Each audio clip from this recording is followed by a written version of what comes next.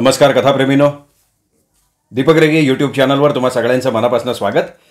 मित्रांनो तुम्ही आता ऐकणार आहात प्राध्यापक व बा बोधे यांच्या रान मैना या कादंबरीचा भाग सातवा. सकाळ सकाळ गांग्या कब्बर डकलूनच आला. सरळ शालीच्या पालातच घोसला. शाली स्टो पेटून त्याच्यावर भाकरी भाजत होती. आईला यो फरस खाना कावा आणला? झालं दोन दिस. इष्टू सायपक हा इष्टू सायपक लय कमाई होती वाटतं का? पोटात दुखतंय? हे बघे शालन तुझ्या बापाला मारण्याआधी मी शब्द दिला होता. कसला शब्द? शालीला जीवा जीव ठेवून सांभाळीन. म्हणजे ठरवून मारलं म्हण की माझ्या बापाला. अय काहीतरी बोल नका तो आपल्या पापानं आहे म्हणजे? अगं लय वाईट माणूस लय वाईट.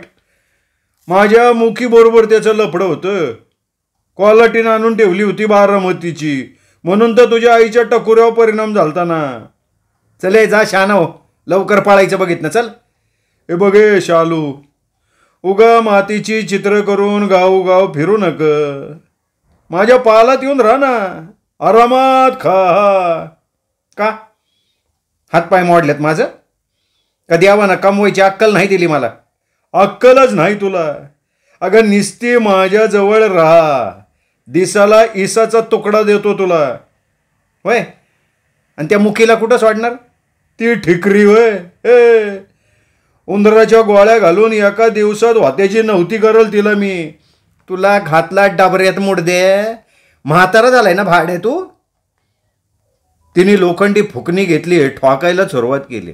नेब्बर चोपला. दोस्क गहू सुंताडाका दिला तसं पडलं खाली. गुडघ्याच्या वाटेवर झानट दिलं. वडत नेऊन टाकलं त्याला पालात. मुकी होतीच. ए मुके या भाड्याला काय खायला घालू नका? लय माजलय. मुकी खोळ्यावाने बघतच राहिली. बाहेर खोळी नाचत होती टाळ्या वाजवत होती. ती आली आणि पुन्हा भाकरीला बसली. जोनका गरगाठला पालातनं किरसुनी फिरवली. तेवढंच आलास माव मावण्या. काय झालं का जेवण शालूबाय नाही झालं ये बस. तोंड का पाडलं एवढं? त्यो यम लागलाय ना माग गंग्या. म्हातारं सोलापुरीत चादरीत घालून पाचटीत जाळलं पाहिजे. अगं चादर जळल पण त्यो नाही जाळायचा. का? सापाला मारण नसतं. धोपटून मारावं लागतोय. वरडलाच गांग्या तेवढ्यात पाहलात ना भोसकून मारला शाले मी. कोण भाडखाव आलाय पालामध्ये? चाली गारुड्याची वस्ती माझी आहे माझी. मला विचारल्या बगर कोणी पाय नाही ठेवायचा इथं. बराच बडबडतो आता. शालीने दुर्लक्षच करून टाकलं. दोघासनी दोन थाळ्या घेतल्या वाढलं. खा. काय ध्यान देत होत्या की धडाकडं? मी तर पार वाईटागली बघ मवन. आमच्या पालव येते करायला. अरे आज एकटा वरडतोय. उद्या समधी वस्ती बोंबलल जेव आपला. गरम भाकरेन जो नका. पोटभर जेवली दोघं. खोळीचं काय खरं नव्हतं कवा बिजी जेवायची तिच्यासाठी भाकरी झाकून ठेवली. रंगीत पोपात ठेवलेलं टोपलं घेतलं निघाली. आता पाऊस बी थांबला होता. तरी कुठं कुठं चिकचिक होतीच. गप्पा मारत मारत दोघं बी निघाली. शाली पुढं मावने अगदीच पोरकाट वाटत होता. तिने मध्येच विचारलं वय किती रे तुझं? कोणाला माहिती? आईला विचारला पाहिजे. नाही तरी पण. असेल की सतरा अठरा. का? मग आता लगीन करून टाक. छ्या. आई म्हणते अजून पाच वर्ष करायचं नाही. थोरल्या भावाचं लगीन झाल्याशिवाय. भाव आहे वय थोरला तुला? मग? इष्टीत कंडक्टर आहे. काय म्हणतो मग कशाला इकतो तू चिमणे? अगं त्यो गिन्नी नाही देत घरी. कावा तरी पाठवतो पण पगाराचं करतो काय? काय माहिती? वर्ष सहा महिन्यातनं येतो त्याला कशाला घरात घेऊ देतो मग? अरे स्वार्थी माणसापासून जपून राहो. आपण मला एक गंमत कळली. आईला सांगणार नशीन तर तुला सांगतो. काय रे बाबा? दादा नाही ना बाई ठेवली म्हणे. त्यो शिरपती सांगत होता शाली गप्पच झाली. काय न बोलता त्याच्या मागोमाग त्याच्या पालाव आली मावनीची आई भिरभिरं करत होती. लाल हिरवी रंगीत चक्र. मनगटागत बांबूला चौवागानं पन्नास साठ चक्र खावलेली अयो मावशी कुणी बनवली ही? अगं मी आज बनवली झाकाशीत मालात बदल असला ना म्हणजे खप बी वाढतोय. एस टी स्टँडावर निसती चक्कर मारा. तासात खापत्यात का नाही बघ? वय पोरं ठोरं मागत्यात. मुद्दाम त्यांच्या भोवतीनंच फिरायचं आपण. द्या त्या चार शिव्या. पर घ्या त्यात. बस एवढं चहाचं पाणी पे. मावशीनं चहा पुढं ठेवला आणि हळूच म्हणाली त्यो गांग्या दाढीवाला कोण ग तुझा? माझ्या बापाचा मैतर लय माणूस वाईट. अगं काल मला दम द्यायला आलता. मला म्हणला पोराला वस्ती पाठवू नको डोबळीन. मग म्या उचलली पार. त्याचा गेला पळून. लय बॉलला असताना मुरगाळलाच असतं त्याला. हाणायचा नाही वय धरून. अहो, त्यो मला म्हणतोय रांड बनून राहा. आता तुम्ही सांगा मावशी मला बापावा नाही त्यो ग बसायचं नाही ग? आला अंगाव की घ्यायचा शिंगाव. चोपून काढायचा. हो या गा रातचाच गोसला पाहलात हा तर द्यावा ही कसली पिढा म्हणायची? अ, मग तू राहती कशाला तिथं? मग मावशी जायचं कुठं? हाय कोण आपलं? अगं हिथं येऊन राहा. खरं शालन मी म्हणलो होतो तुला तू राहा इथं येऊन.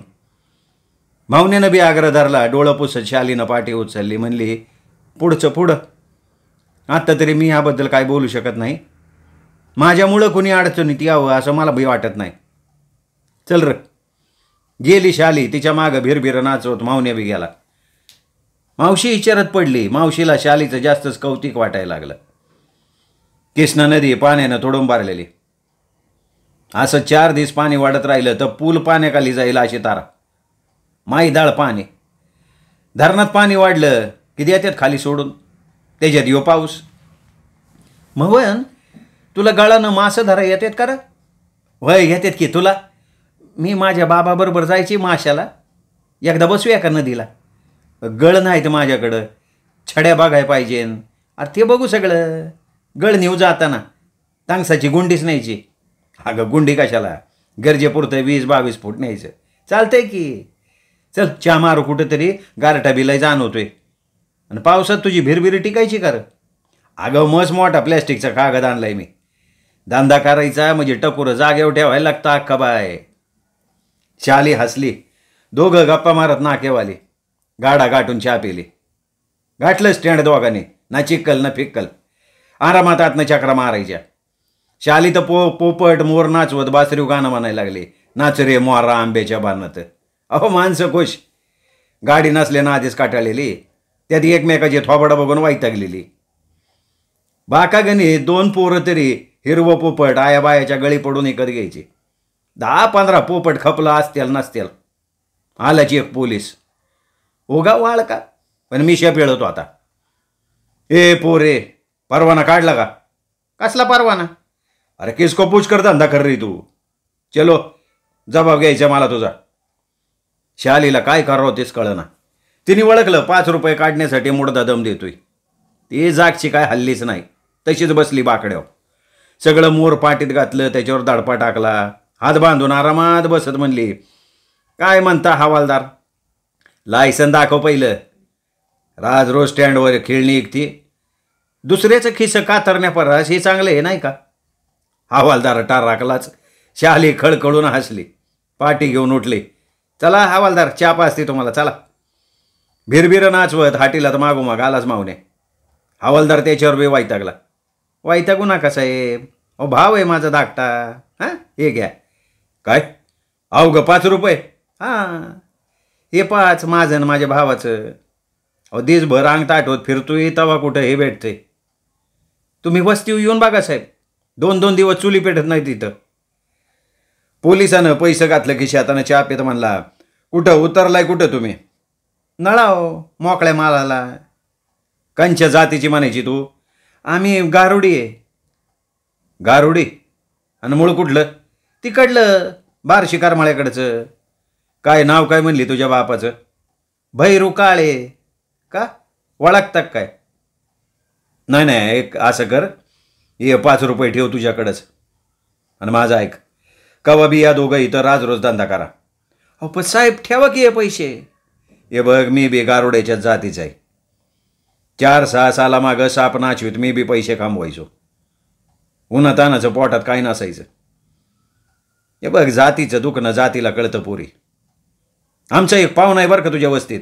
कोण हो? सुदाम मामा. माझ्या आईचा साक्का भाव आहे. वय वय हाय की हाय? म्हणजे तुम्ही कुळचं कुठलं म्हणायचं मूळचं? तसं आम्ही बारामतीकडचं थांब जरा मिसळपाव मागवतो. ती नको म्हणली तरी त्याने मिसळपाव मागवला. पुन्हा चहा पाजला. मामाला खर्चासाठी वीस रुपये दिले आणि वर कानात सांगितलं बाच्यानं दिलेत असे सांगू नको बरं का. का हो? नाही मामाचं काय नाही पर मामी जरा रागात आहे. त्याच्या गोकीबरोबर लगीन नाही ना लावलं मी. चार सालापासून टपाल नाही बोलणं भाषण नाही. पण गोकी तरी कुठं फिराकती? आता मला ती पसंत नव्हती ना. मग कशाला गळ्यात गोरपड घ्यायची? पुन्हा वर मामी तीन हजार मागत होती. पण सुद्धा मामा चांगला आहे बरं का. या की एकदा वस्तीव हो. कशाला? मामीच्या शिव्या खायला वय. अहो तसं काय नाही आमच्यात या जेवायला. मस्त मटण करते बघा. बाप काय करतो का तुझा? गेला साप चावून. हवालदार गपच झाला. शांतपणे आपल्या ड्युटीवर गेला निघून. शाली मावण्याकडे बघत म्हणली गारुड्याच्या जातीतलं हे पर केवढं साहेब झालंय नाही का रे मावणे मग बरी जात देण्यात आली त्याच्या नाही तर दहा रुपयाला कातरला असतं त्याने. चला चला. तासात खपला पाहिजे सगळा माल आणि जाताना गळ घ्यायची आठवण कर रे. चार वाजेपर्यंत सगळा माल खपवून जोडी निघाली बाजारपेठेकडं. दाणं गूळ पावडर मीठ मिरच्या घेतल्या. भाजीला वांगी कुठं कारली घेतली. निघाली पिशवी दडप्यात बांधून. अरे मावण्या गळ राहिलं की. हा कुठं मिळतेल? अरे विचारायचं सामानाच्या दुकानात. चार ठिकाणी विचारलं ना मिळतंय सगळं. गळाच्या पुढे या पैशीच्या पिशवीत टाकून पोराटोरसने आठ आण्याच्या गोळ्या घेऊन निघाली जोडी. आता आबाळ पांगलं होतं. लय दिवसात ऊन पडलं होतं. सारी वस्ती जळाळून उठली होती. पाखरं बसल्यावानी सगळीकडं पंख पसरून बसलेली पालं. आपल्या पालाकडं वळताना मावने म्हणला मग उद्या कावाशी जायचं? उद्या माल खापवायचा नाही. निवान जायचं माशाला हा की. मावने हसला. जो तो तडक्याव आपापल्या पालाकडं झुकला. दहाच्या पुढं जेवण आटपून माशाला जायच्या तयारीनं शाली मावण्याची वाट बघत बसली होती. पण मावण्या यायचं चिन्ह काय दिसना. म्हणून ती सहज लेफ्ट टाकून आडवी झाली. पुढच्या मातीत खेळणाऱ्या कुत्र्याच्या पिलांची गामच्या बघत बसली. दोन्ही बी व्यावर्षी पिल्लं. आईबापाचा पत्ता नसलेली. कुठनं आलती कोणाला माहिती? आजच दिसत होती. एक भांड होतं काळं पांढरं. कपाळावर आबिरबोक्का लावल्यावानी काळे टिकले. दुसरं तपकिरी. जरा हाडकुळं होतं पण दोन्ही बी चालाक. आळीपाळीनं एकमेकाच्या ओरराव बसायची. खोटं खोटं चावायची. मनात कसलं पाप नसलेली ती देवाची लेकरं बघून शाली भारावली. हळूच तिने हात लांबिवला भाकरीचं टोपलं वडलं. अर्धी भाकरी ताटात कालिवली दुधाचा टाक वातला. चुक चूक करून बोलवलं पुढं. आली की शापाट नाचवत. भाकरी बघून पालतीच पडली. अहो एवढी एवढीशी नाका एवढी जोडी लाबा लाभा खायला लागली. पोट भरलं तसं तिच्याजवळ शापाट हलवत बसली. सुद्धा मामा आला जोडी घेऊन. काय शालू? कुत्री गावा पाळली? अहो पाळली कुठली? आले ते कुठनं तरी. हा चांगलं आहे चांगलं आहे चार गाज घातलं बरं झालं. अगं दत्ताची खंडोबाची ही लेकरं. मामा धंद्याला चालला वय. मग आता बसून काय करायचं? तुझी मामी अशी तोंडाला फाटकाळ. स्वतः काम करणार नाही दुसऱ्याला करू देणार नाही. पण बसा की. पान आहे का? आहे की. सुदाम मामानं बैठक मारली. पोतडीतनं काढली पानाची पिशवी बाहेर. मांडीव पान घासत म्हणला कंस कुठं गेला? यो गांग्या वय खपला असेल कुठंतरी? लय हलकाडा माणूस. दोन दिवसामागं पंचायत बसवली होती. म्हणला मी लगीन करणार आहे शाली संकट. काही विरोध आहे का? म्हणला कोणाचा. मग रे. म्या म्हणलं हे काही चांगलं नाही. दोस्ताचं लेकरू डोळ्यातल्या बुबळावानी जपायचं सोडून हे काय लावले म्हणलं नकरे भेराडला असेल तर अगं मारायला धावला अंगाव पण आपण गप राहिलो. खरं सांगू का मामा? मी तर टकुऱ्या धोंडाच घालणार त्याच्या नाही नाही आपण नाही वाकडं चालायचं काय? घे कात घे चल. पान तोंडा टाकून ते ओटणार तशी ती म्हणली भातचा पोलीस आहे वाटतं तुमचा? हा वय पाटणला असतो. इथं आलाय बदलून. काय म्हणती? देवा शपथ सुटली म्हणा. मला काल भेटलं होतं हवालदार. लय चांगला पोरगा गगुनानं हे काय वीस रुपये दिले तुम्हाला? त्यांनी नोट घेतली कपाळाला लावली दंडकेत सारले. आरामात मांडी घालून बसला इकडं तिकडं बघत म्हणला एक बोलू कशा आले? आता त्याच काय विचारायचं आहे नाही पोरगा कसा वाटला? लय चांगला आहे स्वभावानं. मला मावण्याला पाव मिसळ चारली. तुमसनी पैसे दिले. वस्तीव येणार म्हणले. हे बघ त्यो हे तर येण्याआधी आपणच तिकडं जाऊ. का हो? तुला आवडला ना त्यो? बा झालं. टाकू लगीन जमून दोघांचं. हो काहीतरी असते मामा तुमचं. अगं ज्येष्ठ नाही करत पुरे. खरं बोल तुम्ही. मामीला फक्त याच्यातलं काय कळू देऊ नका.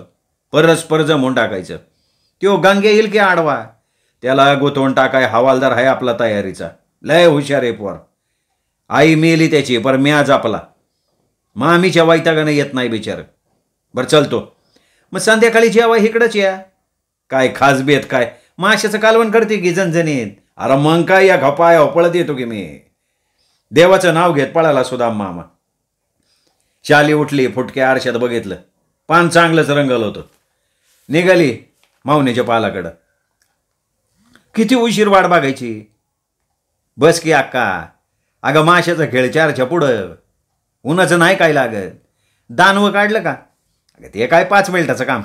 बस हे आहे चहा करा जरा व्हायचं चहा होस्तवर मावण्यानं दानवं काढलं. माशाला एक पिशवी घेतली. गळाच्या छाड्या खांद्यावर टाकत म्हणला पेलीस ना चहा? चल आता. मावशी येऊ का? पायाकडं बघून जावं रे पोरव नदी कशी आईस पाईस पसरलेली. एका कडेनं शेवरीचं बन माजलेलं तर दुसऱ्या बाजूला साऱ्या एरट्याच्या भट्ट्यासनी उत आला. कुठंतरी एखादं वडगं दिसत असलेलं. जोडी शेवरीच्या गर्दीतनं वाट काढत एका शांत ढोहावर आली. कडेनं मोळकाण जंगली झाडं माजलेली त्याची गार सावली पाडलेली. पोती टाकून जोडी खाली बसली. माऊन्यानं दानवा लावला दोन्ही गाळाला. टाक इकडं. लय बी आत नग टाकू. मरळी मोळकांडात असतात लाल तोंडाचा लावला ना दानवा? आईला मासबीर रसिक झाल्यात. ध्यान ठेव टिपरीव दोघं बी अंड्यावर बसलेल्या पाखरवाने गप झाले. नाजार टिपरीव शालूच्या टकुऱ्यात माशापेक्षा हवालदारच खेळत होता. सुधा मामाचं बोलणं तिला आतल्यात गुदगुल्या करत होतं. मावण्या एकदम वरडला. अगं बघती कुठं अक्का टिपरी पळवली की माशानं वड. वडून बघती तर गळ मोकळाच. दानवा पार पळवला होता माशानं. मावण्याने परत दानवा लावला. अलीकडे टाक. लय बी टिपरी पुढं जाऊ देऊ नका. बोलत बोलत मावण्यानं फटकारा मारला. चार बोटागत खवली बाहेर काढली. शाली लागलीस नाचायला. गण गवळण तू केलीस म्हण की. अगं माझ्या गाळाला खवली लागली. हा पण अक्का तुझ्या गाळाला हवालदार लागतोय का नाही बघ. काय म्हणलं तू? अगं तुला केस झळायला काय झालं अक्का? मळ्या माशाला आम्ही हवालदार म्हणतो. शाली खळखळून हसली. हिरव्यागार शिवरीच्या बनाव एकाएकी पिवळी धमक किरण पडली. शाली काळजातनं तररून उठल्यासारखी प्रसन्नच झाली एकदम. कथाप्रेमीनो हा होता भाग सातवा. रान मैना या कादंबरीचा जी कादंबरी लिहिली आहे प्राध्यापक व बा बोधे यांनी. उद्या संध्याकाळी पाच वाजता रान मैना कादंबरीचा आठवा भाग नक्की आहे का? तोपर्यंत नमस्कार मित्र. हो